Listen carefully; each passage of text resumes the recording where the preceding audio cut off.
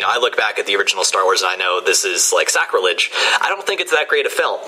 Uh, don't don't even bother with that. But this is this, and I'm not don't gonna even go, say that. This week on Backward Compatible, Jim, Doc, and Chris take off their nostalgia goggles to debate the value of retro games for new generations of gamers.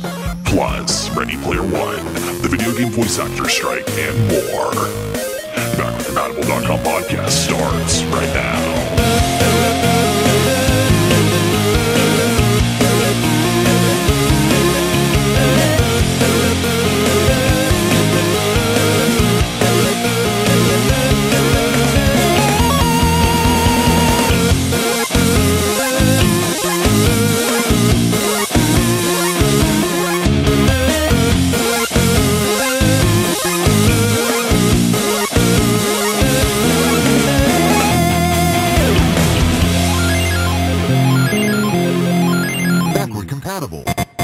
Hello, backward compatible listeners, and welcome to episode number 86 of the backward-compatible.com podcast. Games and new media with a splash of academia. As always, I'm Chris, and I'm joined today by Jim. Hi, I am not the splash of academia. We're joined by Doc. Hey, everybody. He is the splash of academia. Uh, I would argue that we're all the splash of academia Right, because we all have at least true. a master's degree in something game related. So well, it's been a long night for me, so at this point, I think I've shut off the academia part of my brain, and I'm running on the pure caffeine part of my brain. this will be interesting. Then. Can I be the Yes. squirt gun of academia? Yes. Thank you. You Jim. just, sort of, you just sort of spritz it in every yeah, now and just every now and then. Just, Okay, Okay, I like it. gotcha. I'll be the slow drip of academia. Oh, nice, nice. And I'll be the bucket of cold water. Uh, Doc, how about you? how about you introduce our uh, meaty topic of discussion? All right, this is going to be a good one.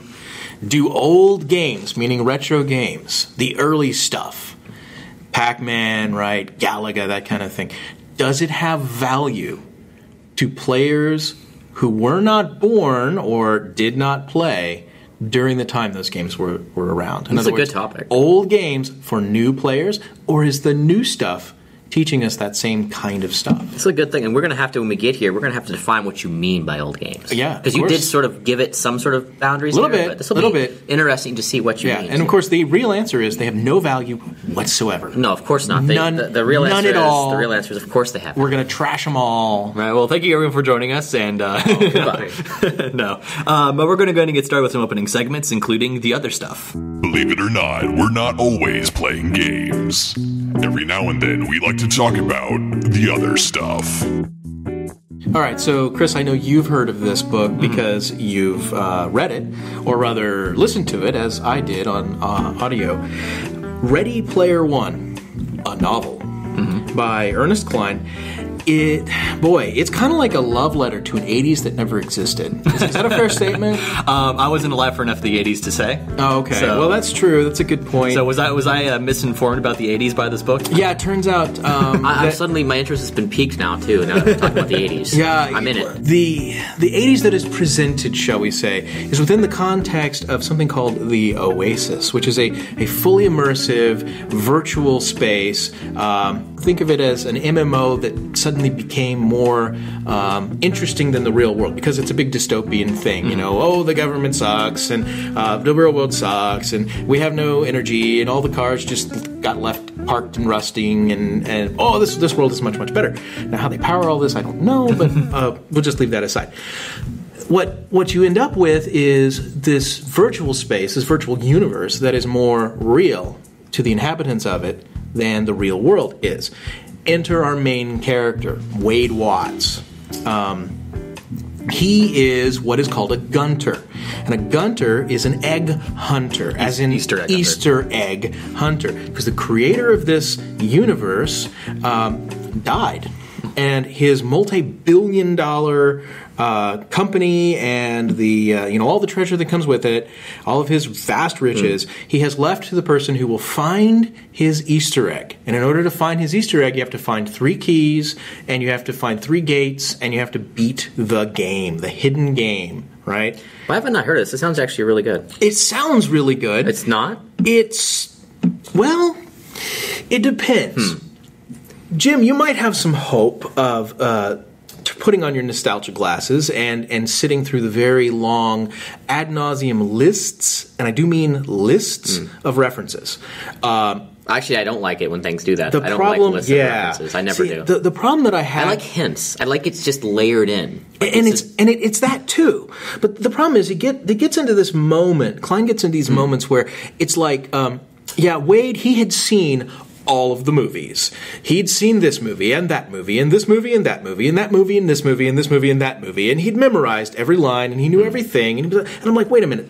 This, this guy's like what 16 hmm. 17 And of course, yet- the excuse for this is that he's dedicated his entire life to understanding Halliday and being interested in what Halliday was interested in, so that he could take whatever hint, whatever references he could in order to get closer to finding the Easter egg. Halliday was obsessed with the '80s for reasons that they sort of kind of explain in the book. Yeah. I think the the issue that I had with the book overall, and this is one where this is something I listened to when I first got into listening to books on Audible, um, and so I didn't really know like what was out there and what was worth reading, and so this is one of the books that like I sort of tried early on because it seemed to be recommended, and for about the first third, um, I really wasn't getting that into it. Like it was kind of I was hanging in there, and then I was thinking like, okay, if I don't like it the next time I listen to it, I'm going to return it and just mm-hmm. give up on the book. And what happened the next time I listened to it was just enough to keep me interested that I ended up eventually finishing it. But I think the problem is it's one of those books that's trying to sort of like appeal to geeks. Totally. Um, it's kind of pandering in a way, it's very pandering actually and it oh, I hate. I don't. I hate when books do that. and it's it's like one of those things where it's that. like it's going on and on about like oh man remember all these great things that we all loved it's like so the the, the character that they're doing the egg hunt for is obsessed with the 80s and therefore the main character and all his friends are obsessed with the 80s and therefore you the reader have to be obsessed with the 80s That's absolutely and they were kind of figuring that a lot of people would like that because like hey everybody loves the 80s and all these great retro games but it's like no there's some of us who really don't care that much well it's like I like the 80s as much as the next guy but But isn't it like you? There's a really fine line there where when when anytime you do any sort of like referential Mm-hmm. um, show or or game or treatment or anything like that, you have to be very careful because it's very easy to go too far to the point where, like you were saying, Yeah. it becomes pandering, and, And he then did. it's just you can't handle. Like I, I like when when references are there when it when it works as long as it's it's kind of a little bit more subtle. Yeah. You're playing it like for a few laughs. Mm-hmm. Um, but if you go over the top with it, I mean, it's, oh, I mean, even even set aside the '80s thing, Yeah. he's also pandering in like the Oasis is the ultimate gaming experience, and it contains all the worlds that video gamers know and love. It's got the entire planet of Azeroth somewhere in this universe. It's got this game. It's got that game. It's got all the games. All the this things, game. man. They're all and there. it's like, okay, great. yeah, there's an entire planet just for arcades. It's called arcade, and it's got all the arcade games. Hmm. You know, and and it's like okay, I, I get it. The problem I had with it, actually, more than anything else, aside from the lists, hmm. which was just bad writing, um, it was the superlatives. Hmm. In every instance where Wade needed to know the thing that he needed to know, he knew it because he'd memorized that and he'd watched all that. He'd seen every episode of, uh, of Family Ties. He'd he'd already gone through all of the so and so movies. You know, he he had all the Spielberg memorized. He'd all the all the all the all the all the mm-hmm. in every case except right at the end. Whenever completely contrary to everything that he's done, where he's been just this super miracle man the entire time, he goes, "Uh, guys, this is not my best game." Mm-hmm. and it and then of course beats it anyway. But it was like he didn't feel like a real person or a real character. You know what I mean? He was the super geek in virtual space who was a complete loser in his real life. And to be fair, that was something that I think the book did a good job of. Where even as it was pandering to geek culture and stuff like Mm-hmm. that, it also had some elements of good criticism of geek, geek culture and Yeah, would- obsession. it totally did. Th- This guy, like you know- Avatars and things like yeah, that, I yeah. I mean, like whenever you see him in the real world, he is the definition of dysfunctional. He truly is. um, and like you know, even like he even what- gets into virtual sex a little bit on Yeah. that. And it's like, oh, geez, and, and like in the kind of his character development is like the actually and this is a little bit not really a spoiler at the very end of the book like a thing happens and the f- closing line is for the first time in my life i didn't want to get back into the oasis Mm-hmm. and so his character movement is from someone who prefers life in the virtual space to preferring life in the real world That's very true. and it's kind of a movement from a to b and so it's interesting in that sense and it, it, it sort of does does, like I said, kind of critique some of the more negative aspects of internet culture and of you know obsession with the fictional stuff. Because what ended up happening Mm-hmm. partially is that the world started going downhill, and people just got escapist and let the world keep sliding downhill. It's stuff like there's a there's a very vague line between the real world and the and the virtual world. For example. There are people who are actually murdered in the actual real world, and it's a terrible, terrible thing that that, that, that occurs. if you die in real life, you die in the game. Yeah, and that's the way it's treated. Uh, but it's like, um, that's completely glossed over as I'm going to get my revenge on him by killing his avatar. Yeah. No. It's also yeah. That's the other thing about the Oasis is like apparently you have avatars that only have one life. Yeah, that's the worst game design ever. Actually, the Oasis is terribly designed. It's just an awful design. It- and like, there's all these like arbitrary rules he added, I think, to make it more dramatic Uh-huh. and to make it like more meaningful if you die in the middle of the hunt and that Yeah. sort of thing. But even then, it's like, eh, yeah. like there are other ways you could have dealt with that. I don't know. Way, way, to, way to close it out, though. The biggest problem that I had with with the culture and the characters and the people is that they didn't feel like night. Or yeah, they didn't feel like 2044 kids mm-hmm. who were obsessed with 80s. They felt like 80s kids who'd been teleported to the future and brought into this virtual space. And that was the biggest problem that I had because you cannot absorb a culture and truly be a part of the 80s culture, even if it's in within the context of a simulation, uh, unless you genuinely experienced that culture. Yeah. Um, and so whenever uh, whenever somebody walks into into your lounge space and is like, oh, it's the living room from Family Ties, respect. You know, it's like, uh, yeah, okay. I had an actual living room in the actual '80s and was an actual kid, and I can tell you, Transformers was on TV or GI Joe, and I was playing with Legos and I was doing all these things, but it was different than that. And this is an idealized um, fantasy that doesn't account for the fact that the themes we were dealing with in those shows were a reaction to the fact that we had just come off of a big war that we lost and we were now dealing with AIDS. Mm-hmm. And that was the 80s. You know what I mean? That mm-hmm. that's the reason why we had that escapism. We didn't have that escapism because the 80s were cool. Mm-hmm. And that was a fundamental lacking element within the context of it. Hmm. Taking the actual themes of the 80s and bringing them in. The truth is, the solution to the the problems the world was having, nothing gets solved at the end of it.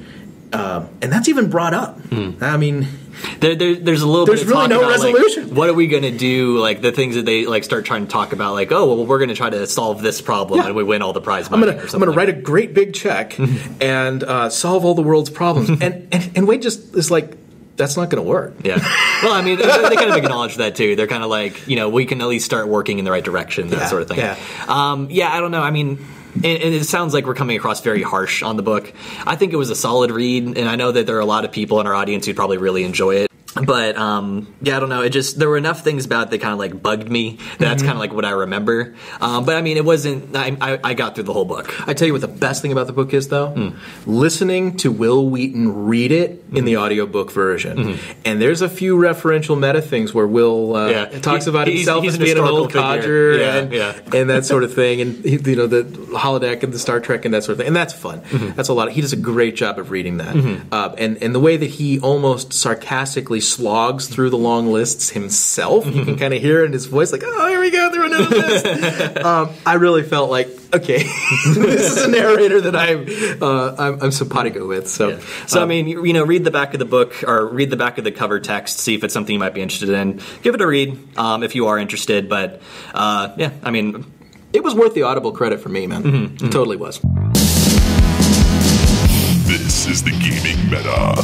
News and commentary about the games industry and gamer culture. We talked uh, last week about the, the Game Awards and some of the positives and negatives of the event. Man, that was a Um, long time ago. I know. uh, one thing I did want to go over again, kind of just because I didn't really talk about it much. Um, Nolan North, he he portrayed. Um, speaking of performance art from last week, um, Nathan Drake from Uncharted. Oh, okay. And so he won the award for. They had an award for best uh, performance in a game. Mm-hmm. It's, it's again, it's becoming so much more common now. They can have awards for it, and uh, Nolan North won the award. And when he came up to give his speech, um, interestingly, he actually talked about and referenced um, the the SAG-AFTRA strike for uh, voice actors in video Oh, games Yeah, yeah. and it seemed like he was actually dissing them, which turned out he wasn't. It was it was a vague comment, but uh, uh, what he said was, and let me see if I can pull it up here because I actually agree with what he was saying. Um, I want to thank a group of people at Naughty Dog. It's them as a whole. I'm hearing a lot of talk lately about how performance matters, and it does. The performance of every designer, every programmer, every artist, every hardworking, talented person at that office.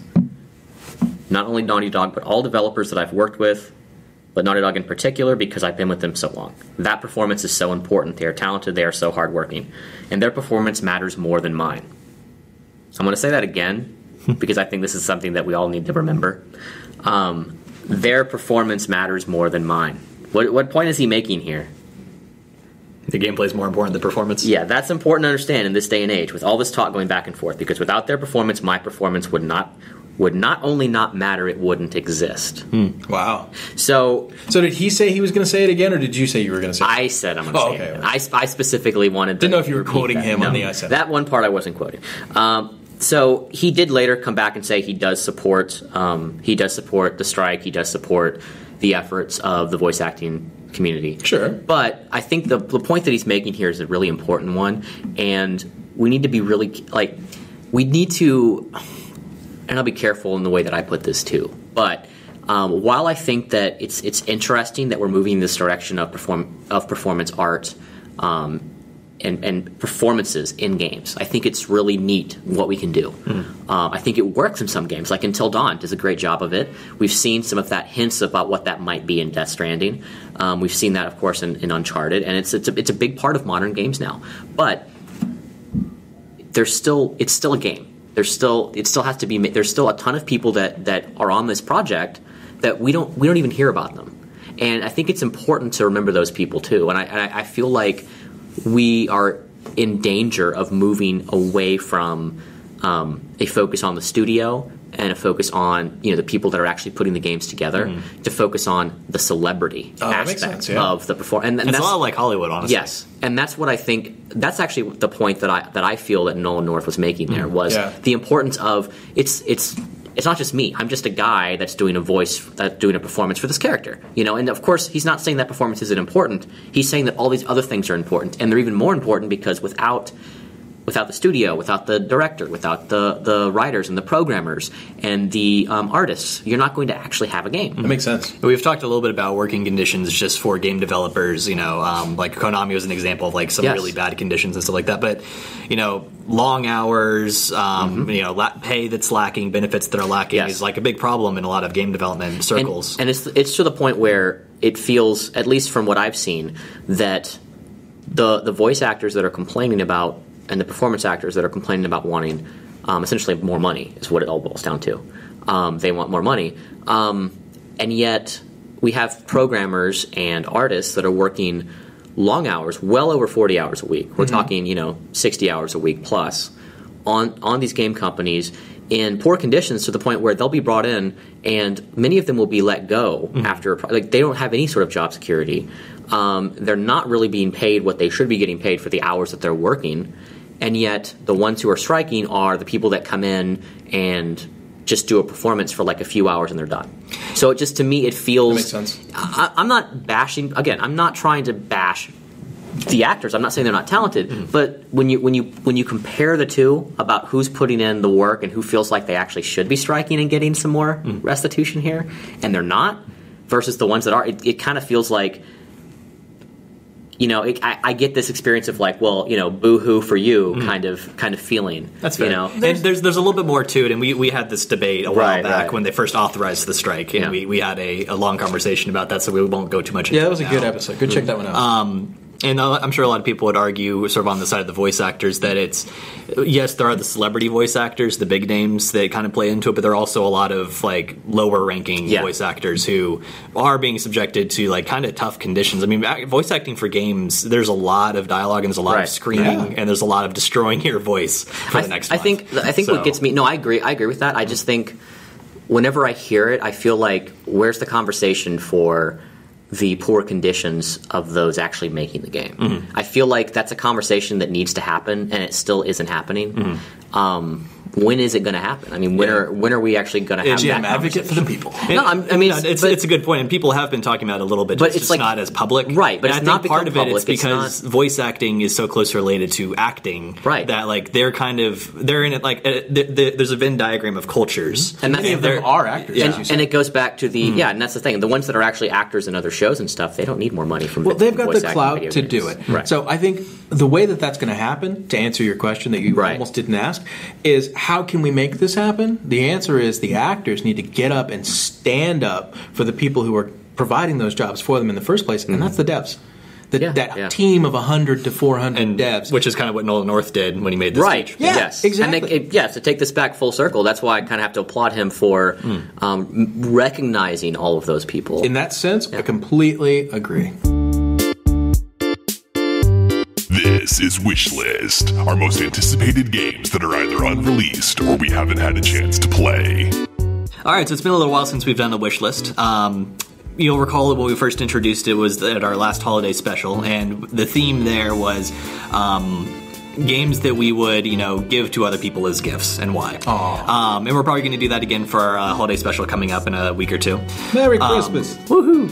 Uh, but in the meantime, we wanted to do uh, a sort of more standard version of wish list where we're just going to talk about the games that we are looking forward to, haven't had haven't had a chance to play. a So more standard version of something we've never done before. no, we, we have. It's just it's been a little while. Oh, okay. So it's been like um, a year. So I guess the one that I wanted to open up with is um, Steins Gate Zero. Uh, so I talked a little bit about Steins Gate and uh, even mentioned it a little bit last week. Um, really became a fan of that game, and I've been getting more into the transmedia. I watched the anime and that sort of thing uh, after having finished The it. anime? The the anime, yes. I'm- And so I was- I was looking a little bit at their kind of transmedia stuff to see, like, you know, what else exists in that universe. And um, there were a few spin offs, and, you know, kind of one of them was like a, a dating sim or something like that that's like based on the property, which kind of seemed kind of stupid. And then there was another game that was, you know, side stories that were parallel with the first game, but nothing really like nothing else to really to continue the series. Um, but I was very excited to find out that there was actually uh, a new game coming out, Steins Gate Zero, that is a follow up to the first game. Um, and it just so happened that the North American localization was being released to like you know two day or two weeks from the time that I found out. So on the one hand, it was much much closer, and I didn't have to wait as long as I'm sure a lot of fans did. Uh, but at the same time, it was kind of like, well, I kind of want more now, and I have to wait two weeks. and of course, now that I've actually I've bought it and I've downloaded it, but I haven't played it yet because I just uh, haven't had a chance. I haven't had that free time that I had when I was first looking at into it. Who does? Um, but I'm very interested in the story. Uh, you know, without spoiling anything that happens in the first game. You know, it's kind of funny. It's a time travel story, so it's hard to say if it's a prequel or a sequel, really. Um, That's fair. but there are events that happen that are kind of mentioned but never explored that enable the the ending that you have. Um, so basically, in order to get the good ending in the first game, a bad ending had to have happened, and then what happens in that bad ending, sort of post you know the end of the first game, is what enables the good ending. And so this game is exploring that. So uh, I actually mentioned this to our friend Will Parsons, and he was saying that he wasn't particularly interested because basically it's a whole game about taking the worst possible world line and exploring that. And actually, I think that's what's really intriguing about it to me is that like there's there's some there's some emotionality in the characters, what happens to them in the game that you know ends up being explored here. Um, that sounded like it could make for really powerful fiction. Um, and so when I found out that that's what they're going to be exploring in this game, I got really excited. So I'm looking forward to it. I'm going to report back once I've had a chance to play it. Um, do you guys have any other games that you haven't checked out yet? Looking forward to? Yeah. Um, so I'm actually really looking forward to it. This was announced during the PlayStation Experience um, that they were finally bringing it worldwide. Um, Yakuza Zero. So this is a game series um, that I've kind of been interested in a while, but they typically don't come to America, or when they do, they come so late that I I don't have a chance to pick it up. Um, it's basically it's kind of like a Japanese GTA in a sense. Um, it's by Sega, and essentially you are a, uh yakuza member, and uh, you're just in like you know in Japan, and it's just you know it's got a storyline. So I'm I'm interested. I like open world games, so I'm I'm a huge fan of open world kind of action games. And this feel, seems like another one that I can really sink my teeth into and play for a long time. And it's actually coming early next year, so in January. Really? Yeah, yeah. Not too long too late. Wait, it actually came out originally um, in March of 2015 in Japan, but it's finally going to come worldwide to America. Worldwide to America. Worldwide to America. Is it out in Australia yet? Will it even get to Australia? well, Never, never ever. Australia. I mean, it's not part of the world because the world is just USA. So The, the world is the northern hemisphere. I say as I completely, you know, ignore South America and Africa or most of Africa, Right. and Australia. no, it's actually coming um, basically to every like all the other regions essentially. Mm-hmm. So whatever, however many regions they can. I think I think it's just North America and Europe actually. Probably is coming to Australia as well. You got anything on your wish list, Doc? Yeah, you know, uh, I guess the low hanging fruit, easy answer for me would be Horizon Zero Dawn. So I won't talk about that, uh, especially since it's 2017. Instead, I'll talk about The Last Guardian. Uh, you know, we, we did a uh, try by trash last week, and uh, that though I had to choose between those two, and then I actually chose to, to, to just try Last Guardian. But I don't know. That's a little disingenuous.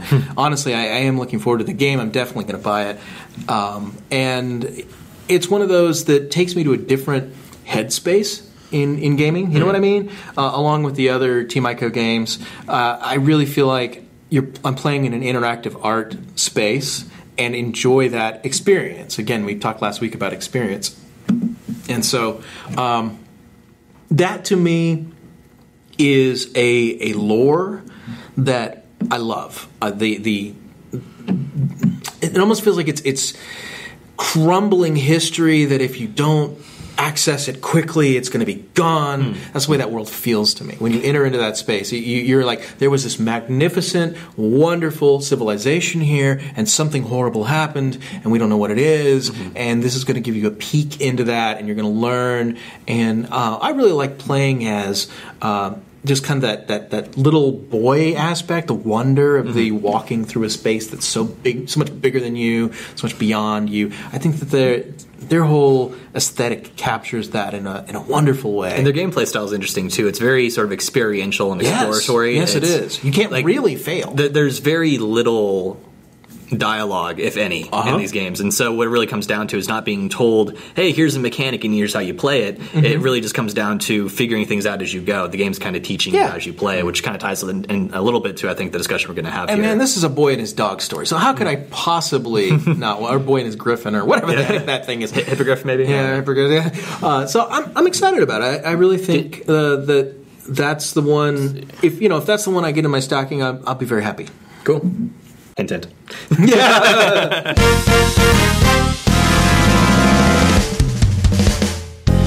It's time for Game Show, where the backward compatible crew play a game show kind of game on their gaming show. What sort of crazy game show challenges in store this week on Game Show?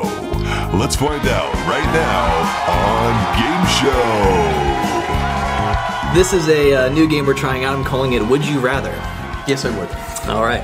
Um, and I would not. This this this particular time it's kind of a test run, so I've got one question, but I think it's a good meaty question. We're going to have a little bit of a discussion about it.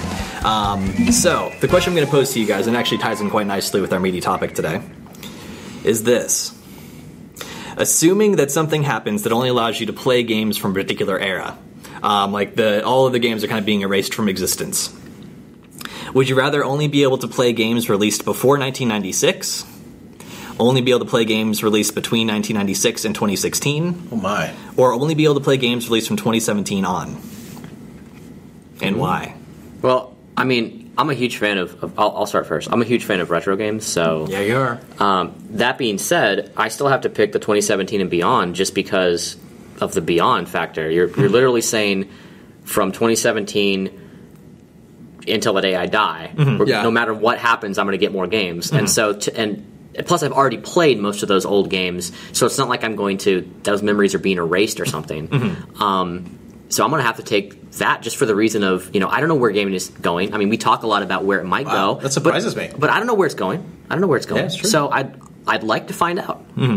Oh, and I I trashed t- 1999, 99, 99, 19, you said 1996 to like 2016. So buy try or trash. I'll buy 2017 and I'll, I'll trash 96 2016 And I'll try. and I'll try uh, 1996. I've already before. tried. no, I, I say that. I have. There's a ton of games that I loved in that period too. I'm just saying. I my, my period that that to me holds um, that I, I loved. I love going back to those games the mm-hmm. most is the period before like Sort the, of golden age. Yeah. Of retro games. Tho- that's the area that I go back to the most often. That doesn't mean I don't go back to games, um, you know, past that. You heard But it here, folks. Yeah. Jim hates games. I gotta, I gotta go for the future, man. I gotta go for the future. Eight- 86 po- uh, episodes into the podcast, we learned that uh, Jim hates games. Yeah.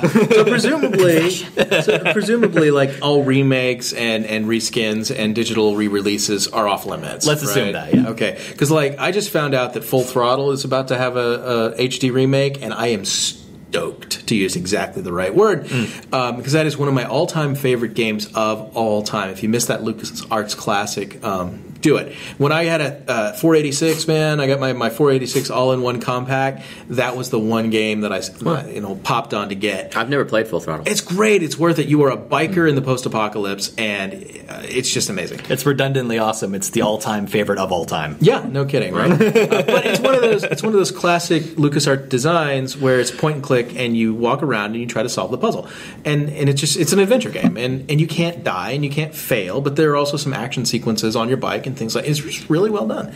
Um, that said. The art is has been updated with it while staying true, and it's just wonderful. So this is hard for me because if I'm not allowed to say Play re-releases. yeah, if I'm not allowed to play the re-releases, then that means I can't ever do that. And one of the things I love about the idea of retro is I, I actually love the idea of retro more than I like actual retro. I very, very rarely put, play old games. I very, very rarely replay games, and I mean like current games that I own. Um, I will sell. I usually have about six games on my shelf at any given time, um, in, in terms of the physical hard copies. Now the digital stuff you can't sell back, so it's in my library, and I never reinstall it. I never pull it back up again.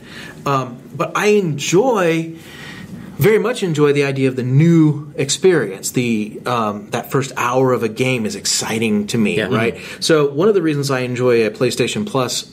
Uh, you know, subscription is because I never know what the free game of the month is going to be.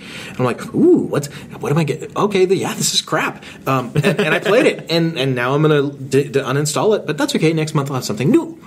Um, and then every now and then you get this really great gym, and so it's like, uh, I'm I'm gonna have to I'm gonna have to agree with you. I'm I'm gonna go with the new stuff because that's that's what I am as a gamer. Um, I would be happy to never play another game um, that I've already played as long as I can continue to play new games. That's that's really what it boils down to for me. Gotcha. Yeah, and and you know it's funny because we you know we just talked about Ready Player One. That's actually one of the problems that I had with that was that idea of um, let's go back in and, and and you know our media topic today is inspired by that actually by that idea of does the old stuff have value for for for a new generation um, and you know I I was alive during the Pac-Man era I was very tiny but I was alive when Pac-Man came out and I just I have no desire to go play Pac-Man. Yeah. I just, Really? It's not a thing. No, it's just not a thing I have interest in doing. Fr- frankly, none of the old NES stuff, none of it appeals to me. I don't do what you do. I don't. I don't download the old ROMs. I don't. I don't play the old games. I just. I don't. I just. I, I, I could go the rest of my life and never play Galaga and be totally fine. If I never pick up I'm not a huge Galaga fan. well, okay, but uh, let me put it. Let me, let me put it shockingly. Yeah. I could never pick up the original Zelda again and be totally fine. oh, it's terrible. I honestly, That's terrible. I enjoy, I enjoyed Zelda. Um, I downloaded it for my Wii when we first came out, and I played a couple of hours and was like, "Yeah, this is cool. It brings me back." Never beat it, and that means that I haven't beaten Zelda or really genuinely played Zelda since the '80s, whenever it first came out. So that's not who I am as a gamer. So what I'm hearing is, um, do not get Doc a NES Classic for Christmas. Correct. Actually, I, I even though it's like fifty bucks for the NES Classic, Yeah. I, I'd pick it up for an hour and be like, "Ha ha!" and I'd be done with it. I would never pick that thing up again. Yeah, that's absolutely true. Let's say that 2017 on is not an option. Games are just going extinct now. Um, well, so- why'd they go extinct? Just because. Because This- Chris is an ass. It, it's hypothetical. Oh, so okay. let's say that there are going to be no more games made, and you have to pick between only being play, able to play 1996 and before, or 1996 to now. What would you pick? So, yeah. Jim, you already said pre 96. Well, yeah, I mean, it's hard. Well, it's it's hard to pick because you know I have so many great games that I like recently too. So it's not like I mean I, I like games all over the place. I'd probably take the before and kind of for the same reason, honestly, and that's there's more of them. You know, if you go 1996 and before, um, there's a lot. There's a lot of games that I still haven't played from earlier earlier periods too. That you know I could play. I could go back and play. I could I could discover that I haven't played yet. So that's why I would take those older games. Um, whereas the games between nine, 1996 and, two, and and now, I've been such an avid gamer during that period that there's very very few games that I that I would actually have interest in playing that I haven't already played. So it's for that same reason. It's like I've I've already played them. Um, I think that I could go back and discover something new in that earlier period much more likely than I could in the 1996 to 2016. That makes sense. That's why. That's why I pick it. That's the only reason why I pick mm-hmm. it. Well, For me, it's all about it. Similar to you, Doc. It is about the new experiences. It's just I also like going back and playing old games that I've played. the nostalgia. Right. Well, and, well, and I just I enjoy it too. It's not just for that feeling of nostalgia. Also, I. I I also have fun doing it. I, it's, it's different sort of gaming experience to what we get with new with modern Sure. games. It feels different. It plays different. It, it's not, and we'll talk about that when we get to our meaty topic. It's not the same. Um, it's not the same experience. I mean, Yeah, you don't play those games for the same reason. Right. That's definitely Right. You're playing a video game, but yet, you know, it's almost like it's you almost want to call them two different things because there's the experience is so different. I've always kind of felt like they're Right. they're somewhere between kind of board games and video games. Yeah. They're like they're digital board games or digital recreation, like things that we would have done outside of video games that we now have turned into video games Mm-hmm. because we didn't really know video games were capable of that we couldn't otherwise Sure. do. Before we that makes sense. right? And and we can return to this. We'll put a pin in it temporarily, Mm-hmm. but it's almost like the comparison between you know a board game or like a P and P, pen and paper. Yeah, RPG. yeah. It's that sort of difference mm-hmm. to me. It's like Actually, the- I would look at Right. I would look at pen and paper versus MMOs and see how the MMOs were influenced by the pen and papers, and then now we've got this new generation of pen and papers that are being influenced, influenced by the MMOs. Yeah, MMOs. wild, right? It's yeah. Hmm. So, So, Doc, how about you?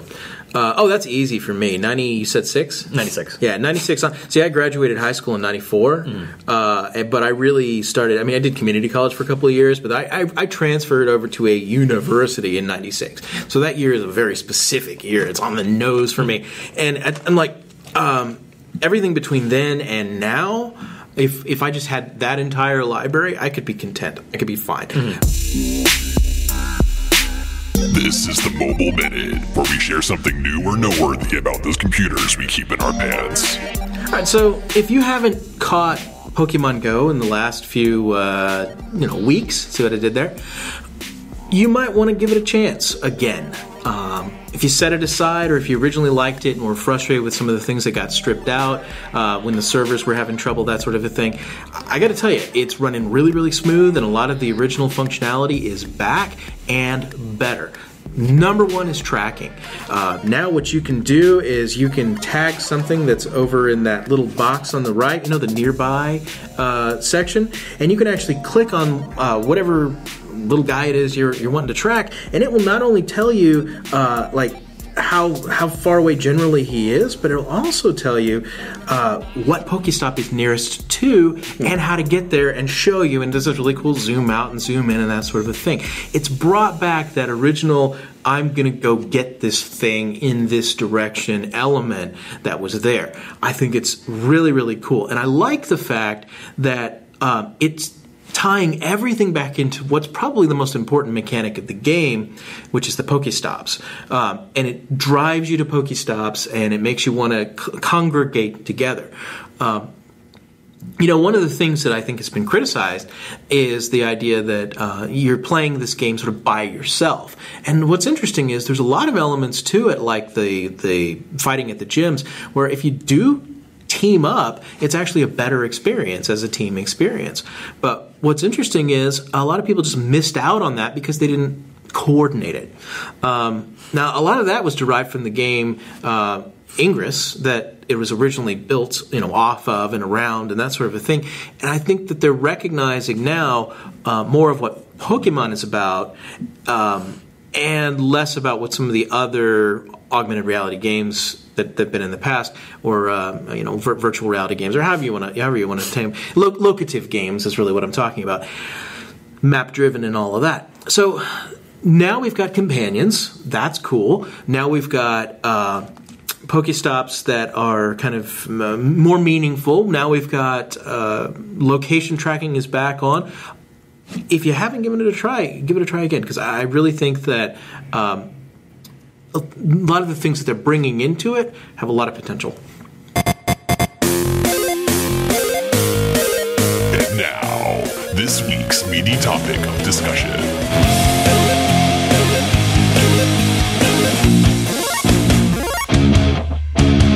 Do old games have value for new players? Well, um, let me answer your question With a question. with another question. yeah. Um, Do and, and I'm going to change one word, and it's going to be an important word, but I'm going to change one word for you. the. No, I'm going to change the word old Okay. to classic. Classic. And I'm sure. going to say, do classic, and I'm going to change it to a different media though. Yeah, yeah. Do classic films have value for new viewers? Ah, excellent question. Does does uh, say classic um, art? Like I'm talking fine art, like uh, paintings, Mm-hmm. sculpture. Do those have value in a culture?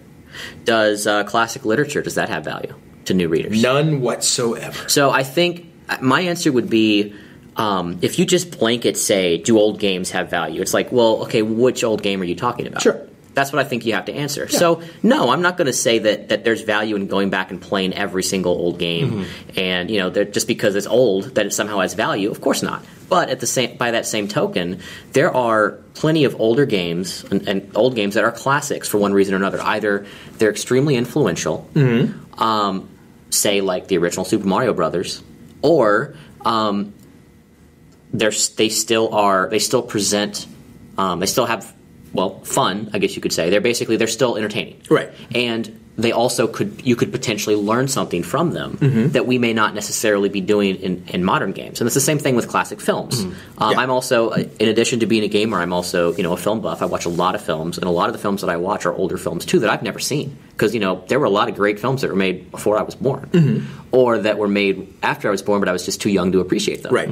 so there's a lot that, that, that I learned from going back and watching old films, I think, of just about about storytelling and about the nature of film. And it's the same thing with video games. I when I discover a game that I hadn't played before, an older game, um, especially when with video games, it's like the the experimental period. It's like going back and watching a movie from like the 1940s. Right. There's this experimental period if you're going back into um, the 80s, particularly the ear the early 80s, and even you know in the late 70s as well in video games. Like that's the the arcade era, um, kind of the golden era of the arcades, as well as the early era of 8-bit Right. before things were established, before we had rules, and before before games like Super Mario Bros. came in. Um, and said, which was not the first game on the NES, by the way. The NES, the NES had many games before that. Yeah. Nor was it a console game. I mean, I'm sorry. Nor, nor was it a. Um, what am I trying to say? Cabinet game. Nor was it a cabinet game. Right, right. I just mean Super Mario Brothers was sometimes we think of it because in the U.S. it was the first game we got, but 8-bit had been around for a while. Well, that's true. Yeah. Like it, like the, it was not the In first the game- arcades.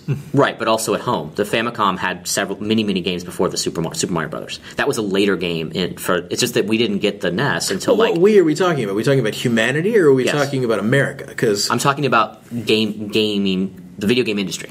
Okay. Culture, like like the game itself was built off the backs of other games. yeah, And but it- but and it, happened in it happened in Japan a lot sooner than it happened here, and and sort of still does in a No, way. right, right.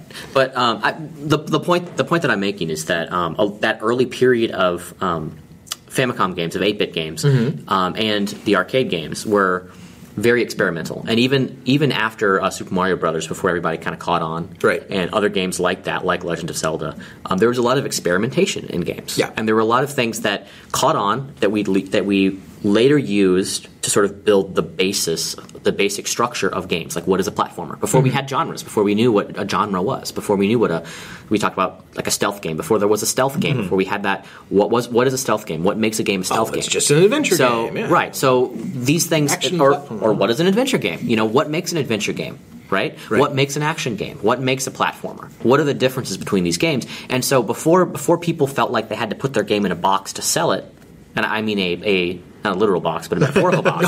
right? Always Before- using boxes. Right. Before they had to put the game into like and say this is a this is a platformer that's kind of like this, and you sort of do this. Before we had that, um, when you could just make a game and it's like going to be all these things and it's just its own its own experience, um, you got to experiment a lot more. And so there's a lot of these ideas that were sort of lost along the way. And I think that there's value going back and playing some of those games, even for the ones that aren't necessarily good. Right. If they at least try something different, because Okay. there's and I, I think you'd say the same thing about film. There's plenty of films I go back to some some that I watch and I'm like, whoa, this is a really interesting idea, and they did some really cool things with cinematography. I don't think this is. I don't. I didn't enjoy the film Right. on, on in terms of the way the story was told, but in terms of what it tried to do, it's very interesting. It's like a, like an artifact, a cultural artifact. Okay, so here here's where it gets a little bit um gee, what's the right word for this? Uh, muddy. Mm-hmm. Okay. Games, by their very nature, are meant to be played. Yes. Right? There's an interactive medium. Yes. Media, whatever. Um, It is medium. it is medium. Uh, they are interactive media, is my point. So, Pac Man, is it possible for me, from a scholarly standpoint, to understand everything that I need to know significantly about Pac Man without actually having played, let's say, a hundred hours of Pac Man? Oh, of course. But How many hours do I need to have played of Pac Man in many. order to have had that experience? Yeah, I would say not many, but it, it depends on the game, of course. But when we're talking about a game like Pac-Man, where um, essentially it's it's a maze game, Yes. and um, yes, they, they they had different mazes at, for different levels, but it's essentially the same experience each time. So really, if you sit down and you play Pac-Man for like a couple of hours, you I I feel that you've experienced Pac-Man. To pretty much the extent you're going to experience. So it. you're, not really saying gonna that there's no more. need to beat Pac Man? No, well, first of all, you can't even beat Pac-Man. Yes, Not- you can. Well, okay, Ready, technically. Ready Player One actually describes Yeah. in detail. Yes, and that's the trap I was setting for you. In Th- fact, There is a perfect score. Yes, and that's that's exactly the scenario that is set up by the author in that book. Um, Wade, the main character, Yeah. comes into this uh, on arcade. He comes Yeah. into it, he finds it. It's it's an Easter egg, not not the Easter egg, but an Easter egg, and basically he has to he has to get a perfect Yeah. Score in Pac-Man, and the and, and the high score is 50 points away from that. So the only way that he can get the high score himself is to get a perfect game. Yeah. And, and he says something like, um, only six games ever have been recorded, blah, Yeah. blah, blah. And of course, he's Mr. Perfect, so he's able to do it. Oh, spoilers. Um, but the way that he does it is he knows the exploits. He knows Right. the corner that he can uh, put Pac Man into where he won't get hurt uh, for 15 minutes so that he can go pee. Right. Uh, he doesn't explain how he. How he pees in the real world when he's jacked. I don't know. It's weird. uh, the point is that you know he he has this I already have played Pac-Man, and I'm so very good at Pac-Man, and I am the I'm the Pac-Man god that I can have a perfect score in Pac-Man and be the Pac. Do you need that level of fanaticism in order to understand what Pac-Man achieved? Um, I've seen the Mona Lisa. Yeah. Uh, I stood in front of the Mona Lisa for five minutes, along with about 250 other people in the Grand Gallery that she is in. Um, not to be confused with the Grand Gallery. And uh, took a very silly meta photo of uh, everyone in the crowd taking photos of her, which was a lot of fun. Then I went around behind her and took a picture of the picture that's behind her because she's on a flat wall, and and it's uh, a, a naked woman turned away so you can see her butt, which had to have been intentional. I'm Yeah. just saying. um, so. You know, there's all these weird little things, and that was my experience of seeing the Mona Lisa, and it was behind glass, and there was a rope, and there was all these other things you know, how many times do I need to go see the Mona Lisa in order to understand and appreciate the Mona Lisa when I can really just get online, pull up a, a, a nice picture of it and, and much, much larger in, in my terms because I'm closer to the monitor and I can even zoom in. I can spend I So- can spend hours and hundreds of hours examining me- her, reading her, and all that Right. stuff. You see where I'm going with this? Well, I think Can't I just read about Pac-Man or, Well, no, or you watch first of all, Pac-Man? first of all, you can't just read about or watch it because, like you said, games are an interactive medium. So Okay. the comparison there would be instead of you actually seeing the Mona Lisa, someone described it to you. I mean, that's basically what happens. Like when you watch a Let's Play, you're, you're, it's someone else's experience. So you're saying as soon as I pulled up that first um, picture, I think there's a difference. I, Between, I'd seen the Mona Lisa. Sort of. But see, and that's where I think the, the comparison with games could be, for example, Pac Man. If you play Pac Man um, through an emulator at home with like uh, your PlayStation controller that you've like set up for your emulator um, versus actually playing it on the arcade cabinet. Yeah. And that's the difference. The table cabinet. So that's- the one where you've got your pizza slice on the screen. It, right? it depends on which version of Pac Man we're talking Yeah. about. But my point is, there's a difference between the authentic experience and sort of the um, simulated experience, I guess, for lack of a better word. Okay. So it's like, yes, you can look at a picture of the Mona Lisa in a book Mm-hmm. or online. Um, but it's not going to be quite the same experience as seeing seen in person the actual photograph. Just like how you can play an, emu- an emulated version with a different control scheme, because remember these are interact this, these are interactive. So Right. if you're if you're using a different controller than the way the game was originally designed to be played, you're not really getting the authentic That's true. experience. Um, so I think that that if you really want to understand Pac-Man and what like Pac-Mania and Pac-Fever, which was a huge thing of the 80s. Mm-hmm. It was, yeah. Good reason to bring that game up specifically. It was massive. So, yes, there's definitely some reading you have to do, especially if you want to be like a, a game scholar. There's a lot of things you have to read and understand about Pac-Man and its impact Yes. on you know the games industry if you really want to know. But no, do I think you have to actually beat Pac-Man? No. Do I think you have to play like 100 hours or even 10 hours of Pac-Man to understand it? No. But you do have to actually if you really want to say I've played Pac-Man, I know what I know Pac-Man, you have to actually have played on the arcade cabinet on a arcade cabinet of Pac-Man. You have to have, have the controls um, you have to have a joystick, the buttons, and you're actually playing it on with a CRT monitor with the with the the same sounds that we would get from you know the old the old style speakers. everything. Yes, so it's not quite the same experience if you're playing like a port of it. Say like the the, the um, NES port of Pac-Man is a different experience. You know the the, ma- the mazes aren't quite the same, the sounds aren't quite the same, um, and of course the controls are very different because the tro- controllers are different. So now that doesn't mean that you can't. I'm not going to say that you're not going to have any understanding of the game. There's there's there's like there's different levels. Like we said, with same thing with Mona Lisa, or same thing with like watching a film. You know, um, I was actually just about to draw another parallel to film. Um, you know, and you, you mentioned the classics. I just want to make a quick side point before I get to what Yeah. I was going to mention here. Um, I think it is important to note that it is the classics we're talking about because uh, a lot of things. I think one of the reasons people tend to have nostalgic nostalgia goggles is because we remember all the good stuff and filter out all the bad stuff. right, right. People, There's plenty of people love you know music Oh, from Lord. the 70s and Yeah. 80s because we only hear the hits. Yeah. Um, and we never hear all the crap that was in between. Of course. the hits. And there's be- tons of crap. Yeah, it's going to be the crap. same thing. You know, Well, the right. 70s, sure, but not in the 80s. just just like this year. I mean, we, we were we're going to remember on, on all the games that came out this year that are great that we enjoyed, and we're going to be thinking about them. We're probably thinking of games that we really enjoyed this year in our heads right now. No Man's and there's probably like maybe, maybe that is one of the games you're thinking of, but like there's maybe like ten or fifteen that you might be thinking of. You know, maybe a few more, maybe a few less, but there are probably like 150, 200 games that came out this year. yeah. So I mean, the point is that, that there's always there's always going to be crap, and we're going to filter that out, and we're going to remember the good stuff. So yes, we're talking about classics. Um, and now to sort of touch on, you know, having like said, having being able to say you have played Pac-Man, and what you described is very specific. Um, the experience of playing Pac-Man as it was originally intended. Yes. and I would compare that to film because, like, you know, for instance, I, I- and I think another point just to make very briefly is that. I think it's more important to go back and play the classics or read the classics or watch the classics if you're going to be either in serious criticism of the field or if you're going to be working in the field. Sure. Um, so Yeah. like it's it's more important that an author be well re- read than someone who's just picking up a book off of the shelf because yeah. they want something to read. Well, and the question really is just does it have value? And so I do think that there's value Mm-hmm. Yeah, there. Now the yeah. question is now, you know, do you necessarily, if you want to understand what it was like to play to to the way games worked back back in this period, Mm-hmm. um, do you necessarily have to go back and play the original? You know, experience original arcade for every And- every one of these And- classic and that games. was- not necessarily. Yeah, and that was the point I was That's going not to make. necessarily what I'm going to say. Say you're going into film studies, Yeah. um, and you're watching one of those experimental 1940s black and white films.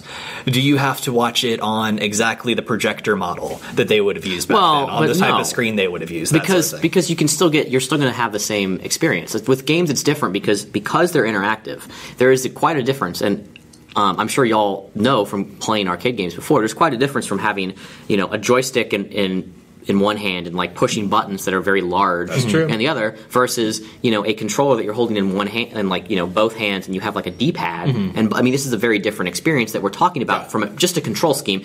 Taking and, and that's not even counting things like um, the ports for these games are, you know, the graphics are not going to be as good, the sound is going to be not as good, and so it's not the same experience. Now, when you're talking about specific projector models, if this is like drastically changing the appearance of it, um, then I, you could make that argument. But I don't think for the most part that is. Now, that being said, Although you could also argue, like maybe not the specific projector model, but like you know, you're watching it on, you're using a film projector with the film reel, right With the film, yes and see that, and that was what i was going to say if you want like i do think there's there's some value from for watching um, restored versions i should say so like for example um, if you watch like the HD remasters. Yes, versus like a, a VHS copy of like an older film. Something you, you can still get a good understanding of it, but um, you might miss some of the detail because some some of the the, lossy nature of VHS. Mm-hmm. You might miss some, especially with if it's very old. There's could be entire scenes that are missing. And that can go the other way, though. Do you do you remember whenever they did a full digital remaster of the Twilight Zone?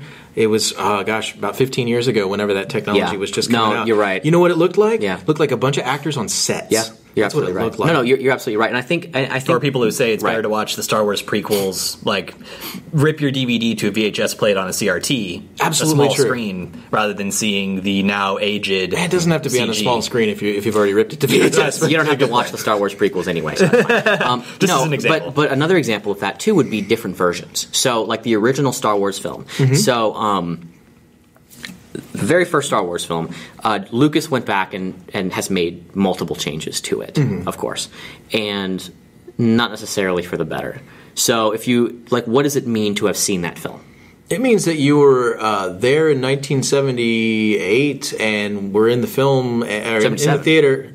Sorry, yeah, in '77 and, and saw the film, and uh, you bought a ticket and you sat down and, and you were shocked and scared and amazed because this weird creepy dude came out and you couldn't see their faces and you'd never seen anything like that before. And if you missed, and if you missed that original screening, and you waited until like you know the next year or two, I forget which. There were already changes. Um, yeah, there were already changes. So, like, Yes. did that person that didn't catch it the first time and then went to see it in theaters, did he really get the same? Did he did he have that same experience? It was close enough that it didn't matter. But there's Was two it? there's two elements here. Right. There's two elements. The first is the physical changes to the film, and the second is the changes to our culture. Mm-hmm. See, we've been so affected by that that it's impossible for my son, who is two, when he gets old enough to be able to understand it next year, to watch Star Wars and see Star Wars as it was intended. It is impossible. That's It is impossible because he will he will even if I shield him from the spoiler alert fact that Darth Vader is Luke's father. Oh man, uh, he'll know it. Yeah. You know what I mean? He's going to pick it up at school. It's it's it's just like I'm your father. That's that's a rap. Everybody says that, right? You know, we all know it. That that moment, that shocking moment that came in the second film, can't be reproduced. It's too ingrained in our culture. The other thing too, and this is uh, I think a broader point that applies to um, the discussion in general. Star Wars, when it first came out, was such a feat of special effects and all this different stuff that just blew people away when they first saw it in the theaters. Also it, true. It, it had never Right, been done before. right. And to the point where I would say that, like, you know, I look back at the original Star Wars and I know this is like sacrilege. I don't think it's that great a film. Uh, don't um, don't even bother with that. But this is this, and I'm not. Don't even go- say that. I'm not going to go into. It's still I, I'll still go on record and say I, I still think it's the best one. I, I just acknowledge it's sacrilege. But the point is, I, am just going to acknowledge that you're wrong. Uh, so I don't. I I just. I, I appreciate it, and I, I don't dislike Star Wars, but I think it's slightly overrated. But the thing is that like what it accomplished at the time is this is something that I would say like the, the value we find in all these other things, these classics that we go back and look at. You need someone to be able to tell you why, it was significant. You're absolutely You right. can't just go watch Star Wars and be like, Well- oh, this is this like if I didn't have any context. You're talking about con- yeah. You're talking about putting putting it into Yeah. context. And It's now like- you- that's exactly Now the you're point. talking about the real problem that we're having with the new sequel, 7, 8, and 9, as they come Yeah. out. We can have an I'm Your Father moment, but it won't be as impactful and it won't be as meaningful because no matter what happens, I hmm. mean, if, think about. I think I think we're safe now to to, to talk about the, the major death that happens in seven. Okay, Han Solo gets killed by his son.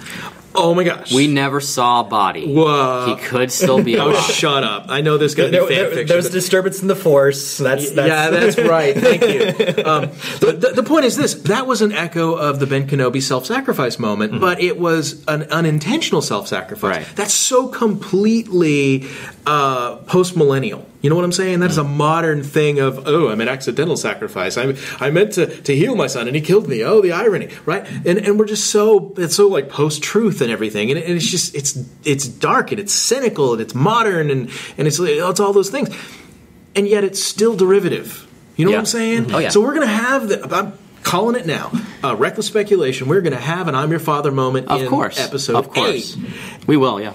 And whatever it is, it's going to be derivative. It's probably uh, Luke being um, Rey's father. oh no! That, that- that's, that's one of the rumors. no, what, what, what I would be more impressed gonna- with is, you know, if she goes, I'm your mother. And, and then it's a time travel. That's what I was about to say. Just go, Luke, I am your mother. And he's like, wait, what? That doesn't make any sense. That would be, be grandmother. We, 'cause- we don't know who her mother is, assuming that Luke is the father. We don't know that that's actually, actually the case. It's speculation. But it's a time travel story where she becomes her own mother. And uh, This is, this is getting. Well, yeah, you know, Anakin weird. didn't have a didn't have a wait. No, she he had a mother. He didn't have a father. He- he was- She's his. Fa- oh, never mind. he was conceived by the Force. You know, well, so we were told. Actually, there's there's a there's a concept that maybe she's a reincarnation of him. I mean, there's all kinds of crazy stuff out there.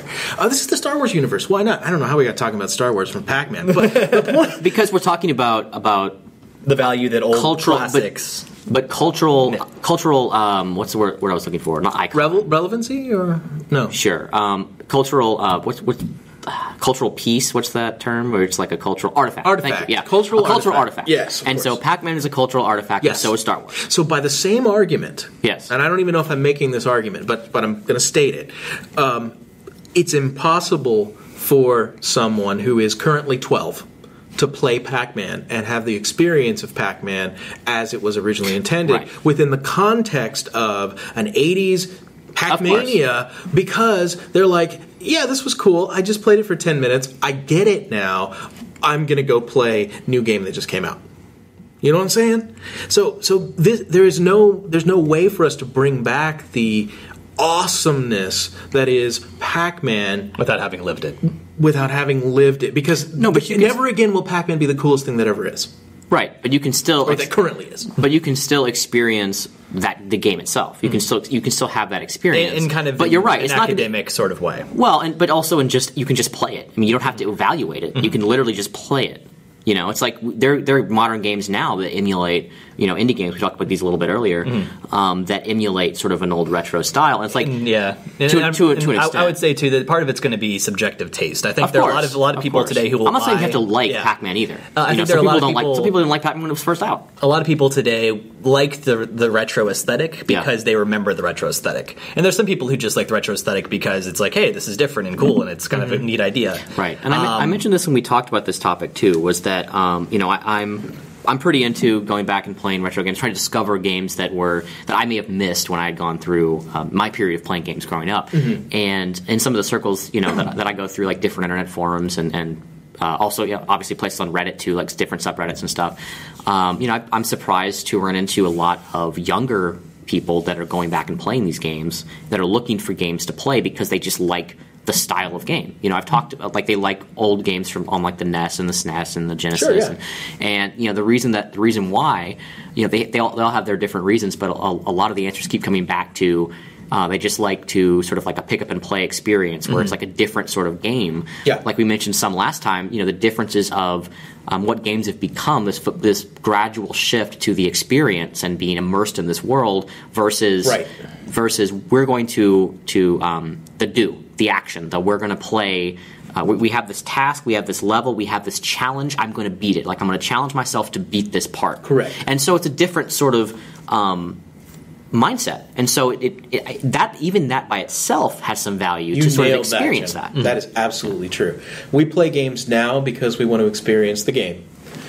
We don't. We don't play it because we're afraid we're not going to beat it. You know what I'm saying? Mm-hmm. I, I have no doubt in my mind that I could go home and I could play for X number of hours and beat Witcher three. Sure. It might it might require me a, a few more hours than I'd like to level up my character so that Mm-hmm. Well- he if you if you raise the difficulty to the max, I'm not so sure. well, that, and that's a good point. That is a very good point. Um, but but the the line But yes, between they give player ability and character ability Hmm. has become so very just. I mean, there's a chasm in between them, mm-hmm. right? I'm making a choice to up the difficulty. Right. Whereas if you're either good at Pac-Man or you're not. And you can hone your skills and get better at it, or Galaga, or Joust, or pick your I think you know, I your think that game. mentality still exists today in the competitive space I agree because um, those are games that are designed specifically to be player versus player. Yes, Overwatch, but- but- anything MLG, Right. where it comes down to I am the best at this game and I'm going to beat whoever else says they're the best at this. But game. it's but it's also that it's a different experience because you are versus someone else Yeah. as opposed Yeah. to you're, you're not cracking the code of the repeating.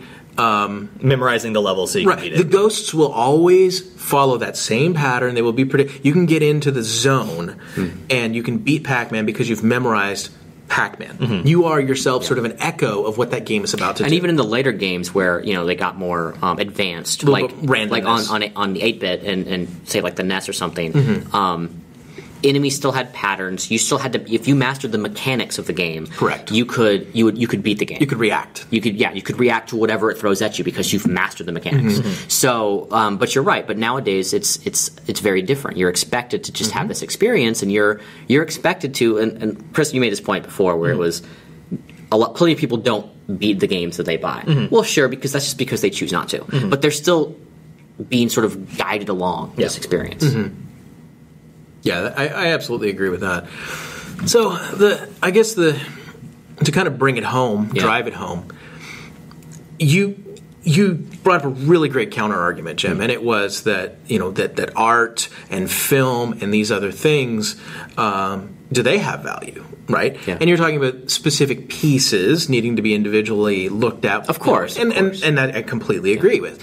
But by the same logic, is it possible for us to look at Renaissance art and experience Renaissance art in the same way as the audience for that Renaissance art would have experienced it? Oh, no. Within the context of their culture and their appreciation and their love of God and their understanding of the uh, the medieval universe, uh, you know, cosmologically. Let, us use Shakespeare because I think that's better. That's a great example. Shakespeare, you know, back when when the way that we look at Shakespeare and the way that his original audience looked at Shakespeare is completely, Completely different. Completely different. We think of it as this very um, formal and and and it's it's it's a classic and it's um, it's like some of the most um, sophisticated and all Right. this. And for them, this is the lowbrow humor. Yeah, it was. So it's it's just completely. It was different. fart humor. right? Yeah. And that's just it was Family Guy. Right, and that's not to say that's not to say that it, that Shakespeare Shakespeare's writing wasn't clever or witty Oh, no, back it was in the day. deeply clever. Completely was, but it's the the perception of the audience and the way that it was presented. Correct. Um, they look at it so differently. Yes. So so you're right. We're not we're not going to experience it in exactly the same way. But that's not the question that you asked here. It's not can ol- can old games can we go can new players go back and experience old games in the exact same way that they were when we first came out? You're that's right. not the question. The question is does it have value? And I would say yes, there's value there.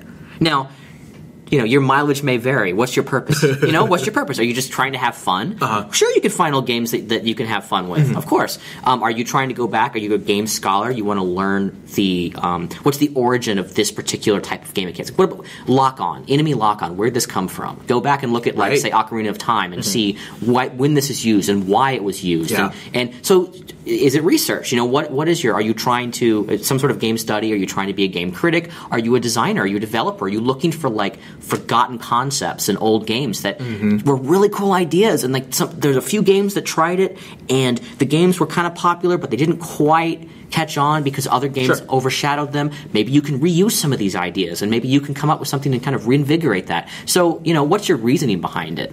Um, but yeah, it certainly has value. That that is a fantastic answer to the question. An absolutely fantastic answer. Chris, what are your final thoughts? Uh, I wouldn't argue with that. I would say that, you know, say say we're just talking about the the lay, just like the average gamer who's just looking at video games for entertainment, Right. Who is young enough that they never grew up with anything, say before say the GameCube is maybe the earliest thing they remember. Sure, maybe that's yeah. even retro for them.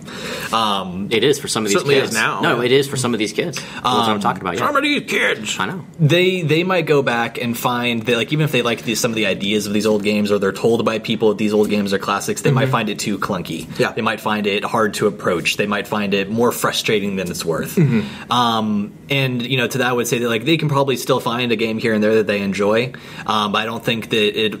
I think for a lot of people, they're going to not have the appeal unless they're given that context, unless they give the understanding of here's what you need to understand about this time. Right. Knowing all these things, here's the value in it. And here's why it was significant. Mm-hmm. And then the question becomes now that you've just told them that outright, Mm-hmm. do they still need to experience it? And can they experience it? I mean, and I think also when you say layperson, I mean, what do you mean? Do you mean like, do you mean a casual gamer? Do you mean I- I like mean, the person that, yeah. that plays Bejeweled and, and like Castle Crashers, and that's that's their gaming experience, Mm-hmm. or are you talking about um, the typical gamer that is playing like uh, you know Call of Duty and Battlefield and Grand Theft Auto? Mm-hmm. So these are these are these are both both of them you could argue are casual. Mm-hmm. Really, are they really? I don't know. I mean, if they're s- sinking tons of hours in both those experiences, are they really casual? And there- there's an How about a serious hobbyist gamer who is not a scholar, not a game scholar? Uh, yeah, and I think, like I said, there's there's there's thing. games you can go back and have fun with, and um, like I said, like I was was talking about in these communities, you find all these kids that want to go back and play, and I say kids, they're like. Um, well, some of them are kids, but uh, we're talking about you know- 20-year-old yeah, kids, like yeah. early, yeah, like like early twenties, or and some of them are you know younger, some of them are like you know 16, 17. Mm-hmm. Um, but they're looking for different experiences, and Yeah. so they can go back and they can have fun and they can find some of these games, and those are the sort of a lot of the topics you get is like recommendations for old games, Sure, yeah. like that. But yeah, to them, like to your point, Chris, Mm-hmm. yeah, to them, they're to them, GameCube is retro and NES is retro. Mm-hmm. I mean, they understand there's a difference there, but to them, it's like, what's retro? Oh, those are both retro. I mean, my game earlier, I picked 1996. That's Yeah. the year that the N64 came out, and so that was a generational divide. that Yeah, I was, was. picking very intentionally. Yeah. And what was weird to me as I was writing that down is like, okay, 1996 to today, that's 20 years. The N64 is just as retro now as like the NES was when I was young. Yeah. which is really weird to think about. Yeah.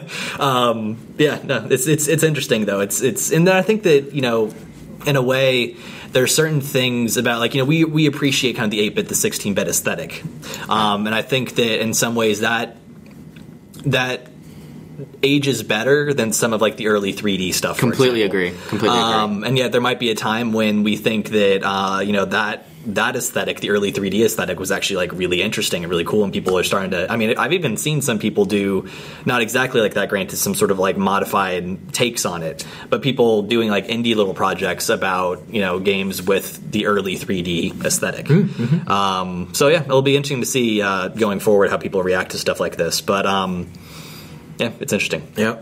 Well, just remember the games of today, 10 years from now, 20 years from now, they'll be retro. Mm-hmm. Of course. Yeah. And there'll be a whole new crop of kids that It's are still- like, we don't want to play that stuff. It's still, blow- I, I will say, it is blowing my mind with the GameCube because it just re- brings all that up. Where There's gonna be the people who look at VR and it's like you need a headset to be in That's virtual right. reality. you have to use your hands. no, it's the, like looking at a game like Metroid Prime as like a retro game. That's to them, that's a retro game. Yeah. and the met- retro, and they're like, oh wow, that's this cool retro Yeah, retro and, and game. I, I still Prime. like just because of habit, I still think of it as the new take on Metroid. Right. Yeah. Yeah. Well, Yeah. sadly enough, it kind of still is in a Yeah. way. Cool. I guess as we'll uh, conclude our talk, I think we, I think given the, the broad parameters of your question, I think we can safely say yes. Mm-hmm. But there's a lot of caveats there. There's a lot of like you have to find your own purpose. Yep. And of course, my reason for asking the question was to explore it, not because I Hmm. disagreed with it. Yeah, and it's quite possible too. I mean, like you know, again, drawing all these parallels between other media. I mean, there are people who absolutely love books who probably don't care for the classics. Yeah. There are a ton of people who love movies and go to movies all the time and wouldn't watch anything made before 2000 or something. Yeah, I don't know. I, I know people like that, and I'm. I mean, I continually work on them and say, "Come on, you got to go back. You got to watch some of this stuff. There's some great films that you're missing out on." Hmm. Yeah. Of course, there's the flip side too, and it's those who won't watch anything made after 2000. Right? Yes. That, that, that does exist as well. Well, thank you everyone for joining us for episode 86 of the Backward-Compatible.com podcast, our discussion on uh, the worth of retro games to a new generation of gamers. I'm Chris, I'm Jim. I'm Doc. and we'll see you next time. We want you to write into the show because dialogue makes everyone better. If you want to comment on this episode, ask a question, share some info, voice an opinion, or request a topic, send an email to inbox at backward-compatible.com, and we may feature you on a future episode of the podcast. Thanks for listening. Until next time, stay compatible.